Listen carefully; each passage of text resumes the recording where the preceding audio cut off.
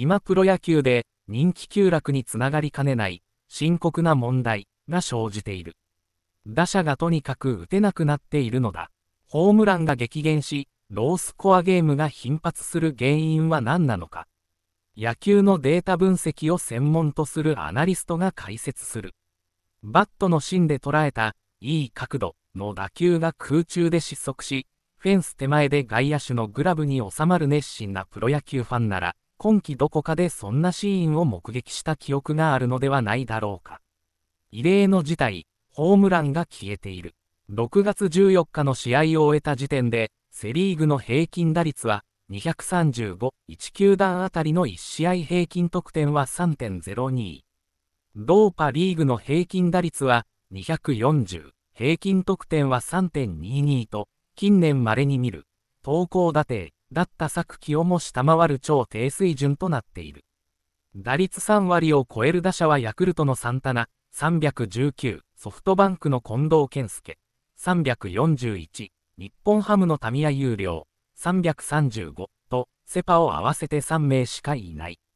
さらに深刻なのが、野球の花とされるホームランの減少だ。過去半世紀の記録を遡ると、規定の反発係数、打球の飛距離を左右するボールの跳ね返りやすさを満たしていない違反球が使用された2011年939本、1球団1試合平均0.54本、2012年881本、1球団1試合平均0.51本を除き、両リーグ合算のシーズン総本塁打数は常に1000本を超えていた。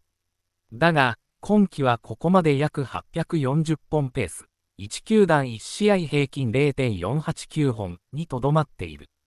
ホームランやヒットが出にくい状況は、出塁率と長打率を足した指標であるオープスにも端的に現れている。平均オープスは背が627パが636。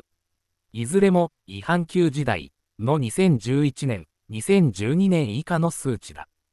野球のデータ分析を行う株式会社デルタのアナリスト宮下博氏は、今期の異様な状況についてこう説明する。2011年、2012年と極端に飛ばないボールを使用していたことが問題になりましたが、今季は現時点でその水準さえ下回っています。プロ野球で同じくらい得点やホームランが少なかった時期は、1950年代中盤の長嶋茂雄さんがデビューする前まで遡らなければいけない。歴史的に見てもあまりないレベルの投稿打定だと言えます。